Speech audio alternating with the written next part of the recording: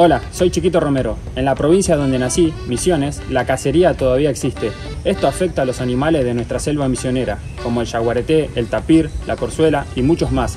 Estamos a tiempo de cuidar nuestra naturaleza. Sumate vos también a la campaña de la Fundación Vida Silvestre y decí Yaguá la casa.